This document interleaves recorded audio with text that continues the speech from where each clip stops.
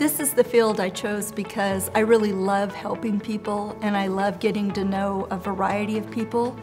And it's a very flexible schedule and it's just something I really have a passion for. The best part of what I do is helping people, making their day brighter. Those are the moments that remind me why I do this.